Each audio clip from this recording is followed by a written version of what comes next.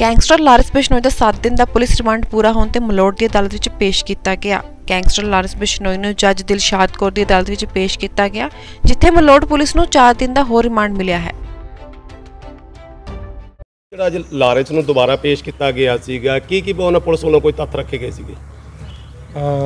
Lawrence Bishnoi ਨੂੰ ਅੱਜ 172 ਅ, ਅ, ਨੰਬਰ ਐਫ ਆਈ ਆਰ ਜੋ ਪੀ ਐਸ ਸਦਰ ਮਲੋਟ ਆ ਉਹਦੇ ਵਿੱਚ ਪੇਸ਼ ਕੀਤਾ ਸੀ। ਆਲਰੇਡੀ ਲਾਰੈਂਸ 7 ਦਿਨਾਂ ਦੇ ਪੁਲਿਸ ਰਿਮਾਂਡ ਤੇ ਸੀਗਾ। ਤੇ ਉਹ ਕਹਿੰਦੇ ਵੀ ਸਾਡੀ ਜਿਹੜੀ ਹਜੇ ਇੰਟਰੋਗੇਸ਼ਨ ਹਜੇ ਪੂਰੀ ਪ੍ਰੋਪਰ ਕੰਪਲੀਟ ਨਹੀਂ ਹੋਈ। ਸਾਨੂੰ ਪੂਰਾ ਫਰਦਰ ਟਾਈਮ ਚਾਹੀਦਾ ਹੈਗਾ। ਕਈ ਚੀਜ਼ਾਂ ਅਸੀਂ ਫਾਈਂਡ ਆਊਟ ਕਰਨੀਆਂ ਹੈਗੀਆਂ। ਫਰਦਰ ਰਿਮਾਂਡ ਦੇ ਵਿੱਚ ਇਸੇ ਕਰਕੇ ਸਾਨੂੰ ਫਰਦਰ ਰਿਮਾਂਡ ਦਿੱਤਾ ਜਾਵੇ। ਸੋ ਉਹਨਾਂ ਨੇ ਮਾਨਯੋਗ ਜੱਜ ਸਾਹਿਬ ਨੂੰ 7 ਦਿਨਾਂ ਦੇ ਪੁਲਿਸ ਰਿਮਾਂਡ ਦੀ ਜਿਹੜੀ ਰਿਕੁਐਸਟ ਕੀਤੀ, ਜਿਹਦੇ 'ਚ ਮੇਰੇ ਕੰਨਿਓ ਸਟਰੋਂਗਲੀ ਅਪੋਜ਼ ਕੀਤਾ ਗਿਆ। ਉਹਨਾਂ ਦੀ ਰਿਕੁਐਸਟ ਨੂੰ ਬਿਕੋਜ਼ uh, ਉਹਦੇ 'ਚ already more than enough time ਇਹਨਾਂ ਕੋਲੇ ਸੀਗਾ, ਜਿਹਦੇ ਵਿੱਚ ਕੋਈ ਇਹਨਾਂ ਕ੍ਰੈਡੀਬਲ ਉਸ ਤਰ੍ਹਾਂ ਦੀ ਕੋਈ ਇਨਫੋਰਮੇਸ਼ਨ ਇਹਨਾਂ ਤੋਂ ਐਕਸਟ੍ਰੈਕਟ ਨਹੀਂ ਕੀਤੀ ਗਈ। ਸੋ ਉਸ ਵਿਸ਼ੇ 'ਚ ਮੈਂ ਉਹਨੂੰ ਸਟਰੋਂਗਲੀ ਅਪੋਜ਼ ਕੀਤਾ। ਮਾਨਯੋਗ ਜੱਜ ਸਾਹਿਬ ਨੇ ਬੜੇ ਧਿਆਨ ਨਾਲ ਦੋਨਾਂ ਧਿਰਾਂ ਨੂੰ ਪ੍ਰੋਪਰ ਤਰੀਕੇ ਨਾਲ ਸੁਣਿਆ। ਸਾਨੂੰ ਇਨਫ ਟਾਈਮ ਦਿੱਤਾ। ਉਹਨਾਂ ਨੂੰ ਵਧੀਆ ਟਾਈਮ ਦੇ ਕੇ ਸੁਣਿਆ। ਫਿਰ ਉਸ ਤੋਂ ਬਾਅਦ ਜੱਜ ਸਾਹਿਬ ਨੇ 1 ਤਰੀਕ ਤੱਕ 4 ਦਿਨਾਂ ਦਾ ਪੁਲਿਸ ਰਿਮਾਂਡ ਜਿਹੜਾ ਲਾਰੈਂਸ ਬਿਸ਼ਨੋਈ ਦਾ ਹੁਕਮ ਫਰਮਾਇਆ ਅੱਜ। ਹੋਰ ਵੀ ਕੋਈ ਪੁਲਿਸ ਲੈਣ ਆਈ ਸੀਗੇ ਰਿਮਾਂਡ ਤੇ?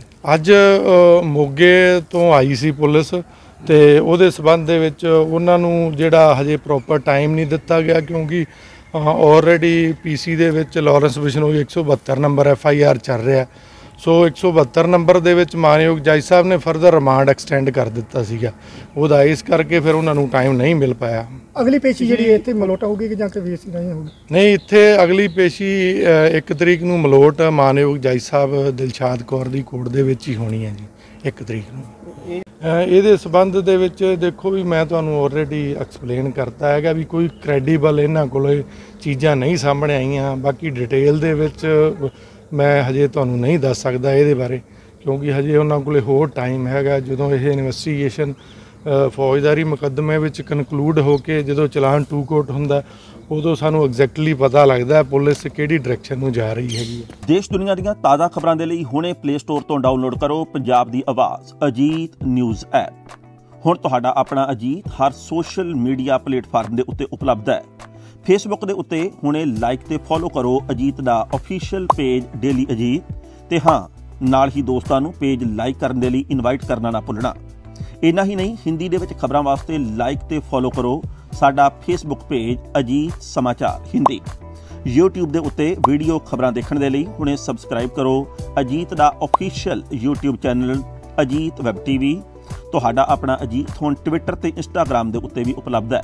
ਟਵਿੱਟਰ ਦੇ ਉੱਤੇ ਖਬਰਾਂ ਦੇ ਲਈ ਫੋਲੋ ਕਰੋ ਡੇਲੀ ਅਜੀਤ ਤੇ ਇੰਸਟਾਗ੍ਰam ਦੇ ਉੱਤੇ ਖਬਰਾਂ ਦੇ ਨਾਲ ਨਾਲ ਵੀਡੀਓ ਦੇਖਣ ਦੇ ਲਈ ਫੋਲੋ ਕਰੋ ਬਲੂ ਟਿਕ ਵਾਲਾ। ਸਾਡਾ ਅਫੀਸ਼ੀਅਲ ਚੈਨਲ ਡੇਲੀ ਅਜੀਤ ਇਹਨਾਂ ਹੀ ਨਹੀਂ ਅਜੀਤ ਦੇ ਵੀਡੀਓ ਹੁਣ ਤੁਸੀਂ Apple TV ਦੇ ਉੱਤੇ ਵੀ ਵੇਖ ਸਕਦੇ ਹੋ। ਤੇ ਨਾਲ ਹੀ ਅਜੀਤ ਅਖਬਾਰ ਦਾ ਡਿਜੀਟਲ ਐਡੀਸ਼ਨ ਪੜ੍ਹਨ ਦੇ ਲਈ ਡਾਊਨਲੋਡ ਕਰੋ ਅਜੀਤ ਈ-ਪੇਪਰ ਐਪ ਤੁਹਾਡਾ ਆਪਣਾ ਭਰੋਸੇਯੋਗ ਚੈਨਲ ਤੁਹਾਡੀ ਆਪਣੀ ਆਵਾਜ਼, ਪੰਜਾਬ ਦੀ ਆਵਾਜ਼ ਅਜੀਤ